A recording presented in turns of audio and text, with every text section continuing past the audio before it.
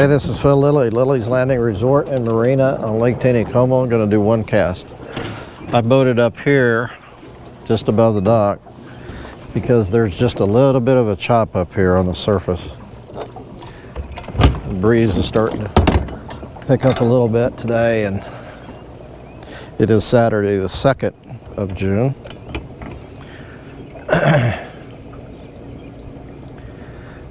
Get that breeze, a little chop on the water, the fish bite so much better. And I've seen a few fish up here hitting the surface. So I know they're feeding. Supposed to have some storms go through there here this afternoon around two or three o'clock. The front, it's a pretty major front. It's supposed to be a lot cooler in the next few days. Down in the low to mid 80s during the day, which is a whole lot better than what it's been. I got the same, almost the same rig on I had yesterday, but I've got, it's a 1 125th ounce marabou jig. It's a sculpin ginger, and then I left the, uh, uh, the zebra midge on there. It's a red 14. I'm gonna fish it about six foot deep to the last fly, to the last jig. Make sure that stick is in there good.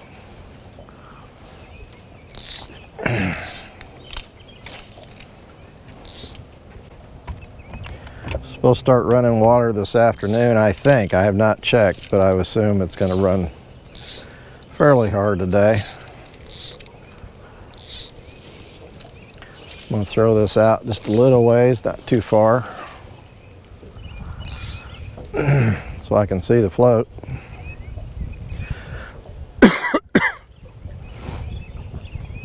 Still a lot of pollen and stuff in the air. Kind of fighting it.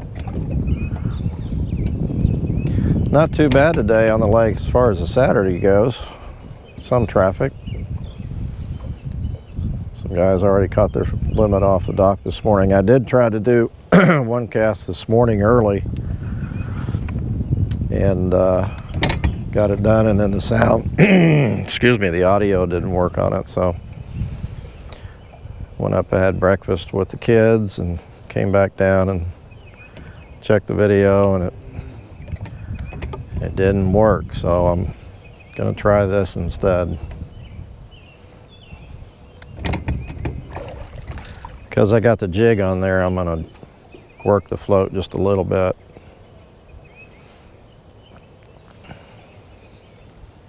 The zebra midges really don't need a lot of movement.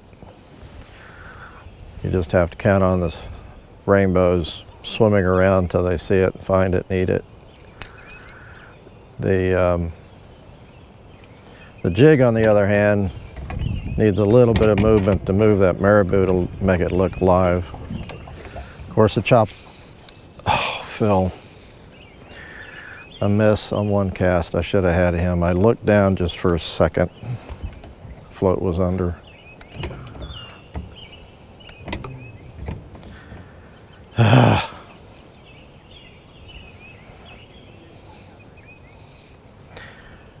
you gotta the, the chop on the water moves the float and uh, in turn moves the, the marabou jig just a little bit, but it doesn't hurt to kind of move the float every once in a while just to give it a little bit more movement.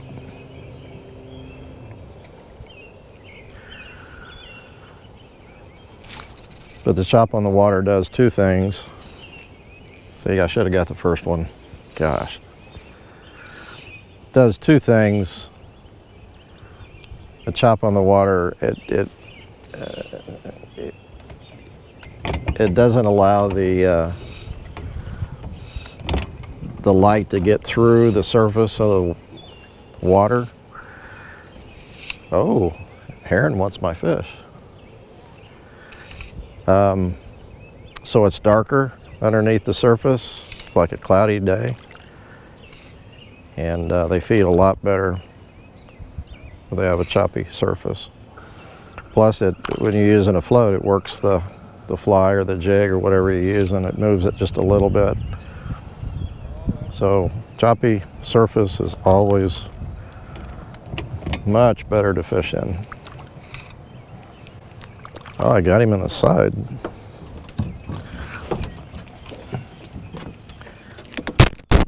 Not even illegally caught fish. I don't know. Sometimes they come up and they swipe it, hit the jig with their body, and if you're quick enough, set the hook, you get him in. You get him in the side.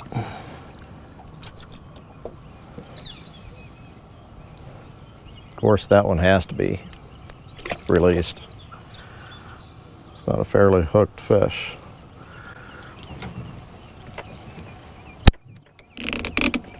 To cast one more time. See if I can get one in the mouth. That heron is still circling.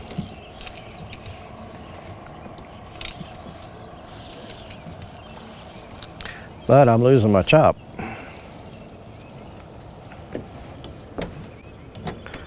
It's probably going to get pretty breezy this afternoon. When that front comes through.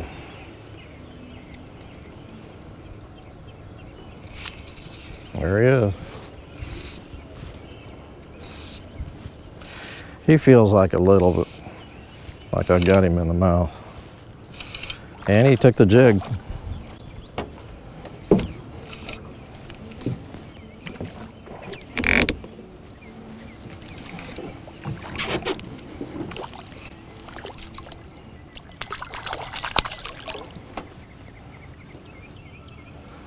Yep, got him in the mouth.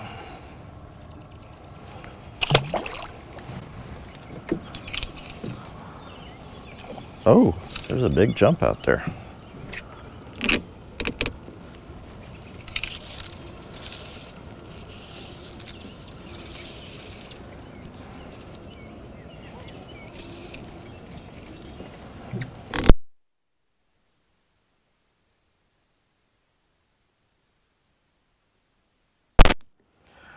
Lost my sound for a minute there.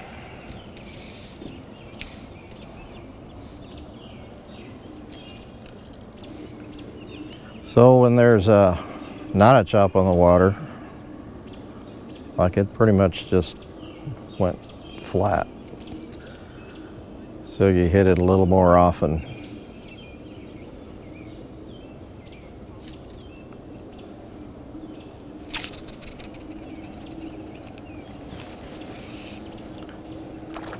Oh, this is fun.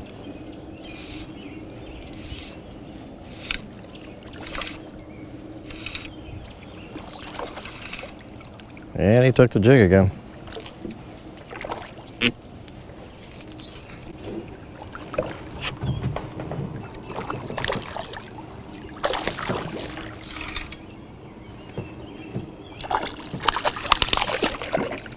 A little bigger fish. All of them are fairly fresh stockers. They don't have a lot of color to them.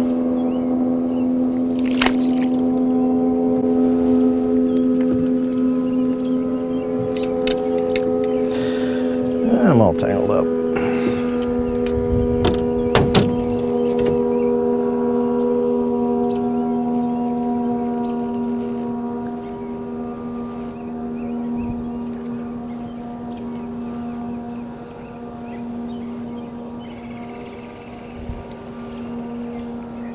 All right.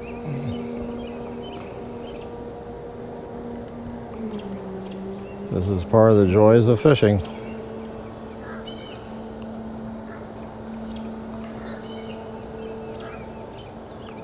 I think this is why some people don't like to fish.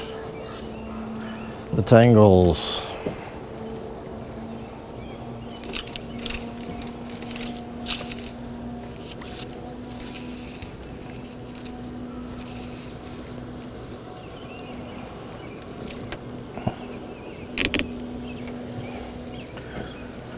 All right, last one.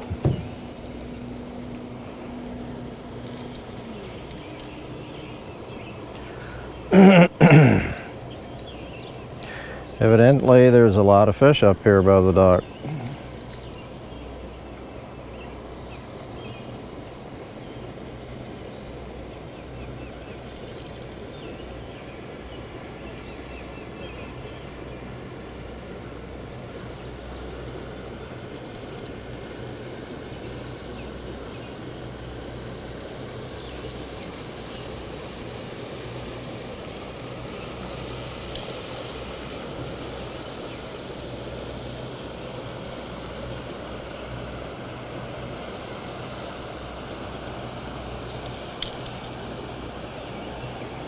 And again, I stopped in this spot.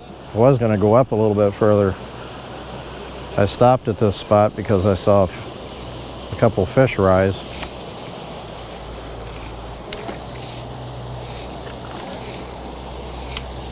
So I knew there was at least one or two fish here that were eating. Got a jumper.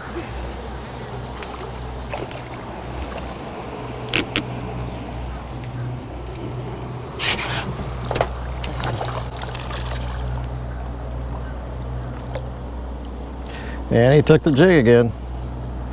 They're not too interested in the in the midge. Okay, I gotta go work.